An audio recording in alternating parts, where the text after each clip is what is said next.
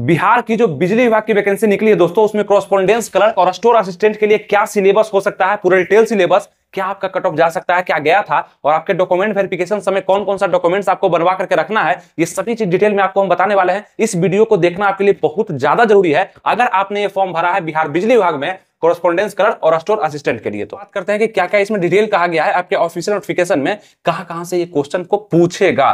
तो general knowledge से आप देख रहे होंगे। इसमें सिलेबस के साथ साथ आपके ऑफिशियल नोटिफिकेशन में आपका मिनिमम क्वालिफाइंग मार्क्स भी बताया गया है कि जनरल को, आपके ओबीसी को एस को कितना परसेंट मार्क्स लाना ज़रूरी है। नमस्कार दोस्तों, आनंद स्टडी ऑनलाइन चैनल में आप लोग का फिर से एक बार स्वागत है। तो आज हम लोग बात करने वाले हैं बिहार में निकली बिजली विभाग की बेहतरीन वैकेंसी में अलग अलग प्रकार का बहुत सारा पोस्ट निकला था, लेकिन आप लोग का बहुत सारा कमेंट आया, बहुत सारा डाउट आया हमारे टेलीग्राम चैनल पर भी या वीडियो के कमेंट्स में भी कि हमें जानना है कि कॉरस्पॉन्डेंस कलर और स्टोर असिस्टेंट के लिए हम तैयारी कैसे कर सकते हैं, उसका सिलेबस क्या होगा, उसका कट ऑफ़ क्या होगा, कितने मार्क्स हम ले आएँगे तो इस वैकेंसी में इस नौकरी को हम पा सकते हैं, क्योंकि बहुत सारे लोग क्या होते हैं कि नॉर्मल ग्रेजुएशन किए थे तो उनके लिए एक अच्छा सा पद यहाँ पे निकला, जो कि कोरस्पोंडेंस क्लर्क का और स्टोर असिस्टेंट का होगा। तो इसमें आपको अगर सफलता पाना है तो इस वीडियो में आप आराम से देखिए, समझिए। और कोई भी डाउट अगर आपका रहेगा तो नीचे कमेंट करिएगा। अनदर वीडियो भी एनालिसिस करके आपके लिए बन जाएगा। या किसी और भी पोस्ट के लिए आपको जानना है तो नीचे कमेंट जितना ज़्यादा आएगा, उस पोस्ट पर एनालिसिस करके हम अदर वीडियो हम दे पाएँगे आपको, ठीक है? तो आप चाहे लड़का है चाहे लड़की है, आपके लिए, सबके लिए हम बताने वाले हैं कि क्या कैसे आपको करना चाहिए ताकि आपके बिहार बिजली विभाग में एक पद आपका ज़रूर हो जाए। तो सबसे पहले इस वीडियो को लाइक कर दीजिएगा, बोलना ना पड़े, सब्सक्राइब भी कर दीजिएगा और शेयर भी कर दीजिएगा कुछ लोगों में। और आइए अब हम लोग शुरू करते हैं क्रॉसपोंडेंस क्लर्क के लिए और स्टोर असिस्टेंट के लिए आपका क्या क्या बोला गया है। सबसे पहले आपका हम शुरुआत करना चाहते हैं, आपके सिलेबस से भी पहले कि आपके लिए क्वालिफाइंग मार्क्स आपके ऑफिशियल नोटिफिकेशन में ही दे दिया गया है। मतलब कि आप फॉर्म भर देंगे, ठीक है? फॉर्म तो भर दिए, उसके बाद एडमिट कार्ड आएगा, जो एग्ज़ाम होगा, उसमें बोला गया कि कितना मार्क्स आपको लाना है ताकि हम आपका कॉपी भी चेक कर पाएँगे। यानी कि अगर इतना कट ऑफ़ जाता है तो आप पास करार कर दिए जाएँगे, क्योंकि आपको पता है कि 2018 में जो वैकेंसी आया था, उसमें काफ़ी कम नंबर पर सिलेक्शन हुआ है। ठीक है, लेकिन इस बार ऐसा कुछ नहीं होने वाला है, लेकिन हो चुका है तो इस पर ध्यान भी देना होगा थोड़ा सा कि समझ लीजिए कि हुआ क्या था। इसलिए मिनिमम क्वालिफाइंग्स भी रखा जाता है कि आपको इसको ध्यान रखना चाहिए। अब यहाँ मिनिमम क्वालिफाइंग मार्क्स क्या है कि आप अगर परीक्षा देते हैं और परीक्षा में आप अगर 40 नंबर ले आते हैं और आप जनरल कैटेगरी से हैं मतलब जनरल यूआर कैटेगरी से हैं तो आपको हम पास कर दिए जाएँगे मतलब आप पास कर दिए जाएँगे।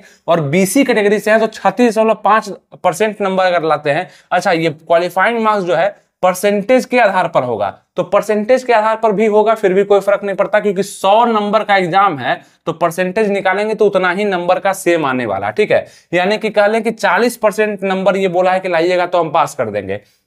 तो मतलब कि 40 नंबर लाएँगे तो पास कर देगा।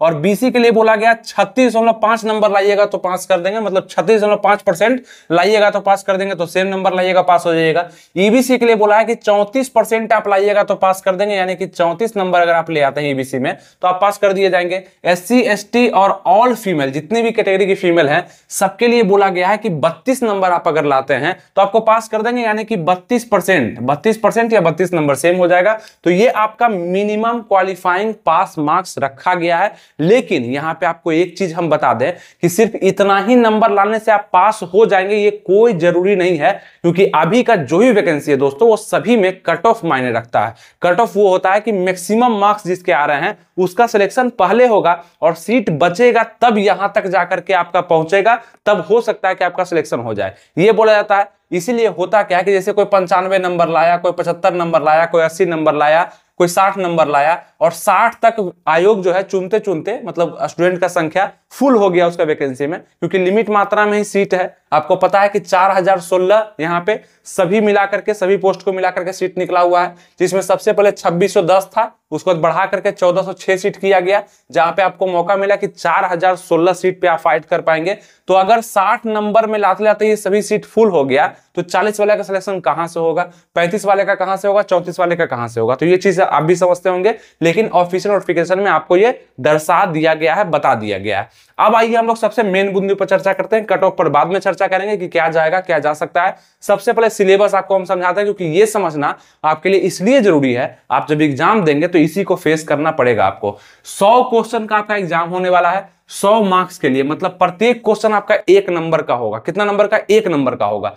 और 90 मिनट का आपको समय दिया जा रहा है। तो थोड़ा सा दिक्कत तो आपको यहीं पे होने वाला है कि 90 मिनट में 100 क्वेश्चन यानी कि एक मिनट से भी कम हमको मिल रहा है मतलब एक क्वेश्चन पे, ठीक है?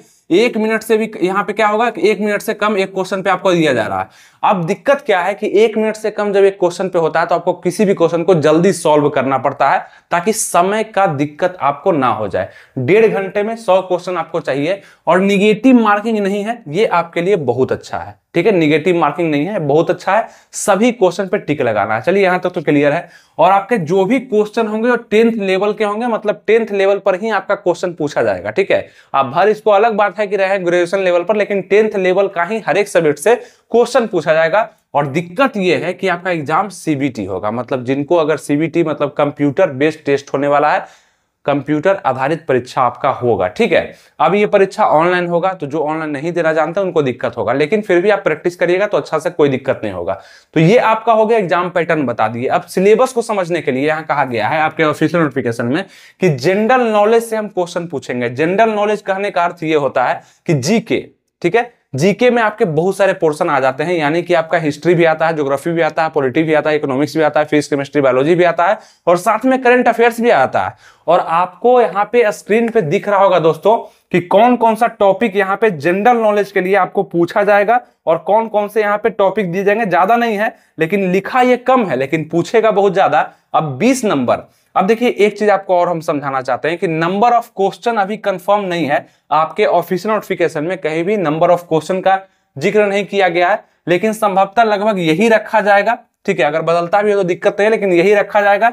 यानी कि जनरल नॉलेज से 20 क्वेश्चन लॉजिकल रीजनिंग यानी रीजनिंग से 20 क्वेश्चन क्वांटिटिव एप्टीट्यूड से 20 क्वेश्चन मतलब मैथ से 20 question general English and comprehension से 10 क्वेश्चन जनरल हिंदी यानी हिंदी से 10 क्वेश्चन कंप्यूटर नॉलेज से नॉर्मल कंप्यूटर का नॉलेज से 20 क्वेश्चन आपका पूछा जाएगा। सभी मिलाकर के आप अगर देखेंगे तो आपका यहाँ पे 100 क्वेश्चन हो रहा है, ठीक है? जिसके लिए आपको 90 मिनट का समय दिया जाएगा। अब बारी बारी से बात करते हैं कि क्या क्या इसमें डिटेल कहा गया है आपके ऑफिशियल नोटिफिकेशन में कहाँ कहाँ से ये क्वेश्चन को पूछेगा। तो जनरल नॉलेज से आप देख रहे होंगे स्क्रीन पर दिख रहा होगा कि करेंट अफेयर सबसे पहले लिखा गया है। करेंट अफेयर्स यानी कि नेशनल एंड इंटरनेशनल यहाँ से क्वेश्चन को पूछा जाएगा। करंट अफेयर्स जब भी जीके का ज़िक्र होता है दोस्तों करंट अफेयर्स आपके बीच में आता ही है। इसलिए आपको बोलते हैं, हमेशा समझाते हैं, अगर आप नहीं जानते हैं तो नए हैं तो ध्यान रखिएगा। इस करंट अफेयर्स को आप ज़रूर एक बार रीड करिएगा जो आपके स्क्रीन पर दिख रहा है। ये टॉप स्पीड पब्लिकेशन का एडवांस करंट अफेयर्स है। आप यहाँ से अगर पढ़ते हैं तो करंट अफेयर्स का क्वेश्चन सिर्फ़ इसी एग्ज़ाम में नहीं, किसी भी एग्ज़ाम में आप नहीं छोड़ पाएँगे। करंट अफेयर्स में बढ़िया दिया गया। आप इसको ऑफलाइन भी परचेज कर सकते हैं ऑनलाइन भी परचेज कर सकते हैं। ये काफ़ी बेस्ट बुक होगा आप लोग के लिए, अगर आप करेंट अफेयर्स पढ़ते हैं तो न्यू आया है मार्केट में, सबको पता भी नहीं है। आप अगर लेते हैं तो आप इससे अच्छा जानकारी उपलब्ध कर सकते हैं अपने लिए, और बहुत बेहतरीन तरीके से इसमें सभी चीज़ को दिया गया है, और लास्ट में ऑब्जेक्टिव क्वेश्चन भी दिए गए हैं, ताकि आप जो पढ़े हैं, वो बना भी सकते हैं। कोई दिक्कत आपको होने वाला नहीं है। तो ये ध्यान रखिए करंट अफेयर्स के लिए मार्केट में जाइए और इस बुक का स्क्रीनशॉट ले लीजिए, इसको दिखाइए कि हमें यही करंट अफेयर्स चाहिए। चलिए करंट अफेयर्स को आपको बता दिए क्लियर हो गया। करंट अफेयर्स के लिए नेशनल इंटरनेशनल उसका देखिएगा इंडियन हिस्ट्री का ज़िक्र किया गया। इंडियन हिस्ट्री यानी कि आपका भारतीय इतिहास से क्वेश्चन पूछा जाएगा तो इतिहास को आपको पढ़ना है। अब कहाँ कहाँ से क्वेश्चन पूछा जाएगा? नॉर्मल ही क्वेश्चन रहेगा, क्योंकि आपको बता दें कि जनरल नॉलेज से जब बीस क्वेश्चन है तो ज़्यादा डीप से क्वेश्चन नहीं पूछेगा। इंडियन ज्योग्राफी आपका भूगोल से क्वेश्चन पूछा जाएगा ज्योग्राफी से क्वेश्चन पूछा जाएगा और लिख दिया है कि इंडियन ज्योग्राफी से क्वेश्चन पूछेंगे, यानी भारतीय भूगोल को ही आपको पढ़ना है, विश्व का भूगोल को आपको नहीं पढ़ना। आप कई सारे लोग यहाँ भी गलती करेंगे सिलेबस को समझेंगे नहीं और विश्व का भूगोल को पढ़ना शुरू कर देंगे। नहीं, वहाँ से क्वेश्चन नहीं पूछेगा, नहीं लिखा है तो बिल्कुल नहीं पढ़ना आपको, ठीक है? अगर आप बिजली विभाग का बेहतरीन तैयारी करना चाहते हैं, तब आप लड़का है चाहे लड़की है बार बार बोल रहे हैं, इस बात को समझिएगा। आपका नंबर भले ही ऊपर नीचे हो सकता है क्योंकि लड़का का थोड़ा सा ऊपर जाएगा कट ऑफ़ आपका कम जाएगा लेकिन पढ़ना आपको सेम टॉपिक है यानी कि आप मतलब दो, कोई दूसरा टॉपिक पढ़ सकते हैं। ठीक है? चलिए आगे बढ़ते हैं हम इंडियन कॉन्स्टिट्यूशन यानी कि आपका संविधान से क्वेश्चन पूछा जाएगा पॉलिटिक्स जिसको हम लोग बोलते हैं वहाँ से क्वेश्चन आपका पूछा जाएगा अनुच्छेद वगैरह साइंस एंड टेक्नोलॉजी से आपका क्वेश्चन पूछा जाएगा। ये बताया गया कि जनरल नॉलेज में हम इस क्वेश्चन को इस टॉपिक से पूछेंगे ठीक है? तो इतना आप कवर कर लीजिएगा और जो भी आपको हम दे रहे हैं इसका स्क्रीन आप लेकर के रखिएगा ताकि मतलब आप जब तैयारी करें तो आपको पता रहे क्या पढ़ना है। अगला आपका टॉपिक क्या हो जाएगा? तो लॉजिकल रीजनिंग मतलब रीजनिंग से क्वेश्चन पूछेगा। और रीजनिंग का जब भी बात करेंगे, जब भी चर्चा करेंगे तो आप खुद बोलेंगे कि 20 क्वेश्चन में से 18 क्वेश्चन तो हम हमेशा बना देंगे, क्योंकि रीजनिंग सबसे इजी होता है और रीजनिंग तो मेरा सबसे मज़बूत है। तो बिल्कुल आपको बना देना है। वहाँ अगर आप 15 और 12 बना करके आएँगे तो आप हीरो नहीं हो पाएँगे, ठीक है? आपको बनाना है और बनाने के लिए पढ़ना पड़ेगा। यानी कि अगर स्कोर करना है तो सबसे पहले आसान टॉपिक को ही शुरू करना चाहिए, ताकि उससे एक भी क्वेश्चन ना छूटे। अगर आप ये सोच रहे हैं कि 20 में से 17 हम बना देंगे तो ये सोचिए कि तीन क्यों नहीं बनेगा? अगर यहाँ तीन नहीं बनेगा तो क्या उस तीन को आप जनरल नॉलेज में मैनेज कर पाएँगे? नहीं कर पाएँगे। तो 20 का 20 बनाइए, ताकि वहाँ जाके मैनेज हो, कुछ क्वेश्चन गलती हो तो वो नहीं भी बनेगा तो चलेगा। क्योंकि यहाँ सभी लोग बनाएँगे। रीजनिंग ईजी होता है, सभी लोग पढ़ सकते हैं। समझ रहे इस बात को? चलिए। अगर रीजनिंग का बात करते हैं तो आपके सामने दिख रहा होगा स्क्रीन पे लॉजिकल रीजनिंग टेंथ लेवल का ही पूछा जाएगा। अब यहाँ कहा जा रहा है कि एनालॉजी से क्वेश्चन पूछेंगे सिमिलरिटी से क्वेश्चन पूछेंगे प्रॉब्लम सॉल्विंग से क्वेश्चन पूछेंगे, और ये सभी रीजनिंग का टॉपिक है। आप इसको यूट्यूब पे भी सर्च कर सकते हैं, और आपके पास जो रीजनिंग का किताब है, उसमें भी आप पढ़ सकते हैं। वैसे हम आपको रीजनिंग का जीके का मैथ का सबका किताब हम सजेस्ट कर चुके हैं इससे पहले वाले वीडियो में। इससे पहले दो वीडियो बन चुका है, जो कि आपको देखना महत्वपूर्ण है। थंबनेल यहाँ पे दिख रहा होगा दोनों का। ये दोनों वीडियो इस वीडियो को देखने के बाद आपको देखना होगा ताकि आपका और भी क्लियरिटी बढ़ेगा। ठीक है? उसमें किताब वगैरह भी हम सजेस्ट कर चुके हैं, वो आपको देखना चाहिए। चलिए, आगे बात करते हैं यहाँ पे। कि रिलेशनशिप कॉन्सेप्ट से क्वेश्चन बनेगा उसका मामा का फूफा का बेटा का भांजा कौन लगता है? उस टाइप से क्वेश्चन होगा। वो तो आप खुद भी जानते होंगे रीजनिंग पढ़े होंगे तो। स्पेस विजुअलाइजेशन से क्वेश्चन बनेगा अर्थ, ये अर्थमेटिकल नंबर सीरीज़ से क्वेश्चन बनेगा अर्थमेटिकल रीजनिंग से आपका क्वेश्चन बनने वाला है। तो ये सभी टॉपिक इसका स्क्रीन लीजिए। बस यही टॉपिक को पढ़िए ज़्यादा नहीं पढ़िए यहाँ पे इस टॉपिक को पढ़िए। और आप क्वेश्चन को बना करके आइएगा, ठीक है? चलिए तो रीजनिंग का भी कंफ्यूजन खत्म हुआ। उसके बाद आता है आपका क्वांटिटिव ये क्वांटिटिव एप्टीट्यूड का मतलब आपका लगभग मैथ पूछा जाएगा यहाँ पे, और ये मैथ भी आपका अरिथमेटिक से ही लगभग रहेगा, आप देख सकते हैं। आपके स्क्रीन पे लग करके आ रहा है, आप यहाँ देखिएगा। अरिथमेटिक का ही पोर्सन दिया गया है, ठीक है? अब यहाँ क्या है? सबसे पहले परसेंटेज से क्वेश्चन पूछेगा। तो परसेंटेज को पढ़ लेना। परसेंटेज का मतलब क्या? वही जो आप अच्छे से पढ़े होंगे मैथ में भूले नहीं होंगे तो आराम से आप बनाइएगा उस क्वेश्चन को। परसेंटेज मतलब बेसिक कहिए अर्थमेटिक का सबसे बेस होता है। अगर इसको नहीं समझिएगा तो प्रॉफिट एंड लॉस ऐसा सी आपको नहीं समझ में आएगा। चलिए, ये तो समझ गए। Time and work time and work काम और समय से भी क्वेश्चन आने वाला है। टाइम एंड डिस्टेंस से भी क्वेश्चन आएगा। प्रॉफिट एंड लॉस से भी क्वेश्चन आपका आने वाला है, उसके बाद सिंप्लीफिकेशन से क्वेश्चन आने वाला है, उसके बाद एवरेज से और प्रॉब्लम ऑन एज से आपका क्वेश्चन आने वाला है। ये सभी टॉपिक को आप मार्क करिए और इसी टॉपिक को पढ़िए मैथ में, ठीक है? जो आसान है, सबसे पहले पढ़िए, जो हार्ड लग रहा है, उसको बाद में पढ़िए। स्कोर करना सबसे ज़्यादा ज़रूरी है। कट ऑफ़ भी हम बताते हैं। आगे चलते हैं। अगला कौन टॉपिक है आपका? जनरल इंग्लिश एंड कंप्रीहेंशन मतलब दस क्वेश्चन का है। अगर इंग्लिश आपको हार्ड लगता है तो इसको आप इग्नोर भी कर सकते हैं। अगर इजी लगता है तो बिल्कुल करना है। नहीं लगता है तो आप इसको छोड़ भी सकते हैं, कोई दिक्कत नहीं है। जिसको सिंपल सा समझिए, जिसको इंग्लिश हार्ड लगता है, वो इंग्लिश को छोड़ ही दें। हिंदी पर पूरा फोकस कर दें क्वेश्चन नहीं छूटना चाहिए। हिंदी हार्ड लगता है, हिंदी को छोड़ दें इंग्लिश पर पूरा फोकस कर दें। कोई एक सब्जेक्ट को आप यहाँ पे छोड़ भी सकते हैं, जो कम नंबर का है, कोई दिक्कत नहीं होने वाला, ठीक है? ज़्यादा लोड भी बढ़ाने के लिए हम नहीं बता रहे हैं, क्योंकि रिज़ल्ट आपका हो जाएगा। अब बात करते हैं यहाँ पे आपके इंग्लिश कंप्रीहेंशन के लिए। तो यहाँ से दस क्वेश्चन आपका पूछा जा रहा। है दस में से देखिएगा क्या पूछा जा रहा। है तो सिनोनेम से इंटोनेम से, यानी कि कुछ वर्ड वगैरह दे देगा वर्ड मीनिंग दे देगा सिनोनेम पूछेगा इंटोनेम पूछेगा। वन वर्ड सब्सिट्यूशन से क्वेश्चन आ रहा है। इरर डिटेक्शन से क्वेश्चन आ रहा है। आइटम्स एंड फ्रेज से क्वेश्चन आपका पूछा जाएगा। पैसेज कंप्रीहेंशन मतलब कुछ पैराग्राफ लिख करके कुछ क्वेश्चन वगैरह भी पूछा जा सकता है। तो ये चीज़ आपका इंग्लिश में पूछा जा रहा है, जो कि आपका सिलेबस में दिया गया है ऑफिशियल नोटिफिकेशन में। जनरल हिंदी में अगर हम बात करते हैं तो यहाँ से भी दस क्वेश्चन मतलब इंग्लिश से भी दस क्वेश्चन पूछेगा हिंदी से भी। अब आपको कौन सा बनाना है? आपको डिपेंड करता है कि कौन सा आपको ईजी लगता है। अगर दोनों आपके लिए अच्छा है तो दोनों बनाइए, क्या दिक्कत है? स्कोर ज़्यादा ही होगा, कोई दिक्कत ही नहीं होगा। अगर हम बात करते हैं यहाँ पे जनरल हिंदी का तो हिंदी में आप ध्यान दीजिएगा, यहाँ पे क्या कहा गया है कि आपके ग्रामर से क्वेश्चन मतलब व्याकरण से तो क्वेश्चन आएगा है ना। व्याकरण क्या? व्याकरण क्या होता है कि आपका यहाँ पे इंग्लिश में ही लिख दिया गया है। जनरल हिंदी के चैप्टर को इंग्लिश में ही लिख दिया गया है गलती किया है। अब यहाँ से क्वेश्चन ग्रामर का मतलब होता है व्याकरण। संज्ञा, सर्वनाम, विशेषण, है ना? ये सबसे क्वेश्चन आएगा। समास हो गया आपका ये संधि विच्छेद हो गया, समास विग्रह, ये सबसे क्वेश्चन आपका बनने वाला है। ठीक है, मुहावरा लोकोक्ति हो गया। वोकेबुलरी यानी वोकेबुलरी इसमें कहने का मतलब कि आपका विलोम शब्द लगभग पूछा जाएगा, ठीक है? उसका शब्द का अर्थ पूछा जाएगा। कंप्रीहेंशन पूछा जाएगा कुछ पैराग्राफ वगैरह देकर के फिर इन द ब्लैंक्स पूछा जाएगा, कुछ पैराग्राफ लिखा रहेगा, बीच में ब्लैंक रहेगा, उसमें भरना रहेगा ऑप्शन रहेगा। इजी ही रहेगा, ज़्यादा हार्ड नहीं रहेगा। ऐसा नहीं कि इंग्लिश में लिख दिया तो बहुत हार्ड पूछ देगा। यहाँ ही बोला गया ना टेंथ लेवल का ही पूछेंगे। उसका इरर डिटेक्शन रहेगा, ठीक है? कुछ, जैसे अशुद्धि वाक्य अशुद्धि इसको बोलते हैं। जैसे कि कुछ लिख दिया, शब्द अशुद्धि भी हो सकता है वो। कुछ लिख दिया, वो अशुद्ध है, उसका शुद्ध रूप कौन सा है? चार ऑप्शन में रहेगा, उसको चुनना होगा।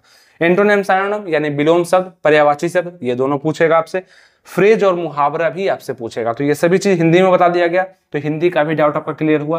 अब बात करते हैं आपका कंप्यूटर नॉलेज यानी कंप्यूटर से क्या क्या पूछेगा। तो कंप्यूटर का काफ़ी बड़ा सिलेबस दिया गया है, और हमें ऐसा लगता है कि कंप्यूटर में अगर इतना बड़ा सिलेबस दिया है तो कुछ क्वेश्चन कंप्यूटर का बढ़ सकता है। वो अगर आप कंफर्म होंगे तो इस वीडियो में ज़रूर कमेंट करिएगा। बीस का जगह वो, पचास कर दे और बाकी को कम कर दे। ऐसा भी हो सकता है मे भी ठीक है, ये आप ध्यान दे दीजिएगा थोड़ा सा बाकी सिलेबस को आपको हम डिटेल में बता रहे हैं।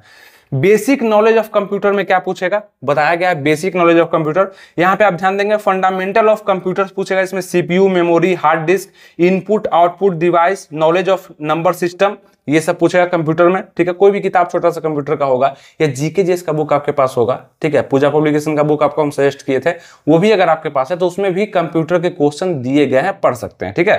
ये सभी चीज़ मिल जाएगा। CPU memory hard disk input output device knowledge of number system basic concept of computer पूछेगा उसके बाद हार्डवेयर एंड सॉफ्टवेयर के बारे में computer software operating system computer language के बारे में पूछेगा basic knowledge of MS Office यानी MS Word MS Excel MS Point के बारे में पूछेगा PowerPoint basic knowledge of internet, जो इंटरनेट आप यूज़ कर रहे हैं और मेरा वीडियो आप देख पा रहे हैं और लाइक भी कर रहे हैं सब्सक्राइब भी कर रहे हैं शेयर भी कर रहे हैं तो ये सभी चीज़ जो है, इसके बारे में भी पूछेगा। ठीक है? अब ये नहीं पूछेगा कि लाइक कैसे होता है सब्सक्राइब कैसे होता है शेयर कैसे होता है। पूछेगा ये कि वेब ब्राउज़र क्या होगा ईमेल के बारे में आप क्या जानते हैं सर्च इंजन के बारे में क्या जानते हैं? जैसे गूगल एक सर्च इंजन है याहू एक सर्च इंजन है, उसके बारे में आप क्या जानते हैं? वेब सर्विस के बारे में आप क्या जानते हैं? ये पूछेगा, ठीक है? चलिए basic knowledge of computer network के बारे में लैन वैन मॉडेम के बारे में पूछेगा, ठीक है? Basic knowledge of cyber security यानी वायरस के बारे में पूछेगा ठीक है मलबेयर के बारे में पूछेगा वॉर्म के बारे में इंटरनेट सिक्योरिटी के बारे में नेटवर्क सिक्योरिटी के बारे में और फायरवॉल के बारे में भी आपसे पूछेगा। ये कंप्यूटर का आपको सिलेबस बताया गया है। तो ये सभी सिलेबस को आपको हम बारीकी समझाए। अब एक नज़र में आप, अब एक नज़र में आप इस सिलेबस को देख लीजिए कि क्या क्या यहाँ पे है। पूरा सिलेबस को एक जगह रख दिया इसका स्क्रीनशॉट भी आप ले सकते हैं। या आप समझने के लिए अब स्क्रीनशॉट तो छोड़िए। अब यहाँ पे समझिए कि पढ़ना ज़्यादा इंपॉर्टेंट है, ठीक है? एक, दो, तीन, चार, पाँच, छह। छह सब्जेक्ट से क्वेश्चन पूछा जाएगा। अगर ये छह सब्जेक्ट आप क्लियर कर लेते हैं तो बोला गया है कि आपका जितना अच्छा नंबर होगा, ऊपर से मतलब कट ऑफ़ जो निकलेगा मेरिट लिस्ट में, इसी प्रकार से आपको मेरिट लिस्ट में नाम भी दे दिया जाएगा। मतलब इसी के आधार पर नंबर के आधार पर। तो आप क्या बन पाएँगे? तो कोरोस्पोंडेंस क्लर्क बन पाएँगे और स्टोर असिस्टेंट बन पाएँगे। स्टोर असिस्टेंट और कोरोस्पोंडेंस क्लर्क काफ़ी अच्छा वेतन भी है, काफ़ी अच्छा जॉब भी है, आरामदायक है, पैसा भी अच्छा खासा मिलेगा आपको, कोई दिक्कत नहीं है। अगर इसका काम उनके बारे में जानना चाहते हैं, इससे काम हो गया, इसका वर्कलोड हो गया, क्या टाइम टेबल होगा तो कमेंट करना होगा आपको। कमेंट करिएगा जितना ज़्यादा, ठीक है वीडियो को लाइक शेयर सब्सक्राइब करिएगा तो हमें समझ में आता है और वीडियो बनेगा, वो सबसे पहले आपके पास पहुँच पाएगा, ठीक है? तो ये सब चीज़ ध्यान दीजिएगा। तो ये सभी सिलेबस आपको समझाएगा, जिसमें जनरल नॉलेज का महत्व यहाँ पे हो जाएगा लॉजिकल रीजनिंग का क्वांटिटिव एप्टीट्यूड का general English comprehension general Hindi computer knowledge ये सभी से आपको क्वेश्चन पूछा जाएँगे, बारीकी से आपको हम समझा दिए अब थोड़ा सा ये देख लीजिए एक बार डॉक्यूमेंट वेरिफिकेशन के समय। मतलब जब आपका डॉक्यूमेंट वेरीफाई किया जाएगा रिटर्न के बाद तो आपको कौन कौन सा डॉक्यूमेंट्स लेके जाना है, आपके स्क्रीन पे दिख रहा होगा। यहाँ पे ये सभी को स्क्रीनशॉट लेकर के तैयार करते रहिएगा। आप चाहे किसी भी कास्ट से संबंधित है, ठीक है, किसी भी कैटेगरी से है, उसका अगर सर्टिफिकेट खोज रहा है तो वो ज़रूर आपके पास होना चाहिए। ये सभी सर्टिफिकेट आपके पास होना चाहिए और लेके भी आपको जाना पड़ेगा, ठीक है? तो ये सभी को अपने पास रखिएगा, क्योंकि ये सभी चीज़ आपको सब कोई नहीं बताता है। ये डिटेल में हम इसलिए बता पाते हैं क्योंकि आप हमसे जुड़े हुए हैं और आप कमेंट भी कर देते हैं, ठीक है? तो ये सभी चीज़ को आपको ध्यान में रखना पड़ेगा स्क्रीनशॉट ले लिए होंगे, इसको पढ़ करके ऐसे हम बताते ही रहेंगे अपडेट भी हम कर देंगे। अभी के लिए आपको हम दे दिए हैं। अब कट ऑफ़ का अगर बात कर ले दोस्तों तो 2018 कट ऑफ़ गया था, इस पर बहुत सारा बवाल हो रहा है कि इतना कम कट ऑफ़ गया, आराम से नौकरी हो जाएगा, आराम से नौकरी हो जाएगा। पढ़ने से ही नौकरी होगा अच्छा नंबर लाने से ही नौकरी होगा। जनरल कट ऑफ़ 58.90 गया था, आपके 2018 का जो वैकेंसी बिजली विभाग में आया था, उसमें। ठीक है ईबीसी e का बावन गया था बीसी का मतलब ये मेल का है पूरा ऊपर, ये पूरा नीचे फीमेल का है। बावन गया था ईबीसी e का बीसी मेल में गया था छप्पन दशमलव दो तीन एस में गया था छियालीस दशमलव आठ तीन और बासठ दशमलव ज़ीरो सात गया था एसटी में मेल के लिए। और यहाँ पे सबको ये कट ऑफ़ कम लग रहा है, ठीक है, कम लग रहा है, ठीक है, इस बार ये कम नहीं लगेगा, ठीक है। और इस बार और कट ऑफ़ ऊपर जाने वाला है। अब आप लोग फीमेल का देखिए दोस्तों कि कितना कम गया था। तैतीस दशमलव तैतालीस गया था जनरल में फीमेल का ईबीसी e में फीमेल का आठ दशमलव अट्ठासी गया। मतलब आठ नौ नंबर में उठा लिया, ये नौकरी दे दिया उसको। सरकारी नौकरी। और यही लोगों को कम लग रहा है और इसी कारण से बहुत सारा फॉर्म फिलअप हो गया। लेकिन इस बार ऐसा नहीं होगा कि ये आठ का आठ ही दिखेगा, या अठारह भी नहीं दिखेगा, अट्ठाईस भी नहीं दिखेगा, ठीक है? ये ऊपर जाने वाला है, क्योंकि इसको देख करके बहुत सारे लोग अप्लाई किए हैं, पढ़ रहे हैं, मेहनत कर रहे हैं, और हम समझाएँ दिए, ठीक है? तो दिक्कत है ही नहीं। चलिए, ये हो गया। बीसी में अगर देखेंगे फीमेल का तो छब्बीस दशमलव निन्यानवे गया था, आठ दशमलव उनहत्तर गया था आपका एससी कैटेगरी में, जो कि और भी कम है। सबसे कम इसी को माना जा रहा है, और इसी को देख करके आप लोग मोटिवेट हैं। लेकिन मेहनत करिएगा तो ज़रूर इस बार भी आपको मिल जाएगा। लेकिन ऐसा नहीं कि बस इतना ही मेहनत करिएगा कि आठ नंबर, नौ नंबर ले आएँगे ना तो हम जीत लिए पूरा बिजली विभाग को। ऐसा नहीं होगा। पंद्रह दशमलव पैंसठ आप लोग का जाएगा एसटी में, ठीक है? एसटी में फीमेल के लिए। तो ये तो कट ऑफ़ हो गया। अगर नॉर्मल आप अगर पूछते हैं कि करना क्या चाहिए, हमको मतलब इस कट ऑफ़ से मोटिवेशन नहीं मिल रहा है तो क्या करें? देखिए नॉर्मल आपको बता दें कि अगर आप बॉय हैं, ठीक है? तो आपको 70 से 75 नंबर लेकर के चलना चाहिए कि ये हम मेरा क्वालिफाइंग मार्क्स होना चाहिए। मतलब कि इतना नंबर हमको लाना है, अगर हम प्रैक्टिस सेट दे रहे हैं या बना रहे हैं या क्वेश्चन जो भी आ रहा है, उसमें से कैसे मैनेज करना है नेक्स्ट वीडियो में हम बताएँगे। लाइक सब्सक्राइब शेयर कर दीजिएगा, सब चीज़ हम बता देंगे, ठीक है? लेकिन आपको इतना लेकर के माइंड में चलना होगा। और भी डीपली आप अगर चाहते हैं सिलेबस का तो हम बता देंगे आपको, ठीक है? गर्ल्स अगर आप हैं तो कम से कम 45 प्लस आपको लेकर के चलना चाहिए। आप चाहे किसी भी कैटेगरी से हैं, बॉय में आप किसी भी कैटेगरी से हैं, तैयारी पचहत्तर प्लस का, सत्तर प्लस का करिए।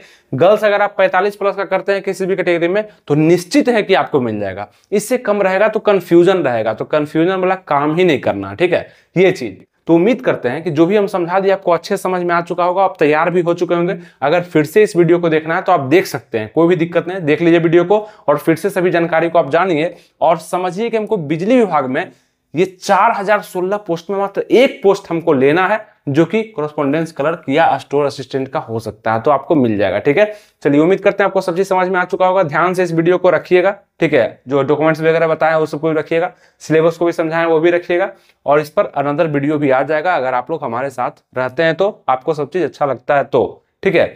तो कुछ लोगों में शेयर कर दीजिएगा इसको, ठीक है? कुछ लोगों में शेयर कर दीजिए, जो कि इसका तैयारी कर रहे हैं, उनको भी नॉलेज हो जाएगा।